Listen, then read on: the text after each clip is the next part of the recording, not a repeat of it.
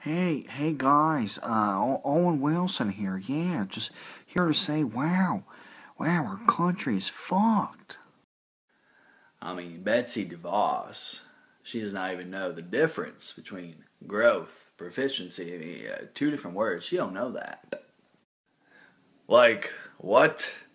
Are you even serious? Grizzlies? Grizzlies, bitch?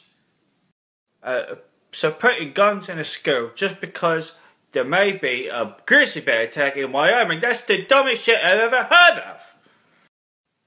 So, Betsy, I, I don't mean to be rude, but go fuck yourself.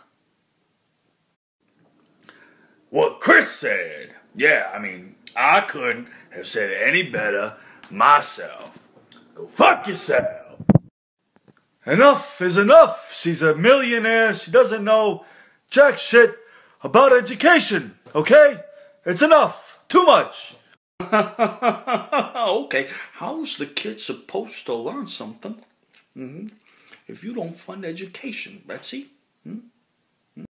Specifically, special needs children, like myself. Hmm. How are we supposed to learn? D is for DeVos. Um, what the coincidence? D also stand for, hmm, let me think, dumbass. Um, nom, nom, nom, nom, nom. Uh, Adam Sandler here, and uh, basically the voice, uh, really, yeah, every time I hear her speak, I just want to say, hey, shut up! I'm Luke Stanaway, and I agree.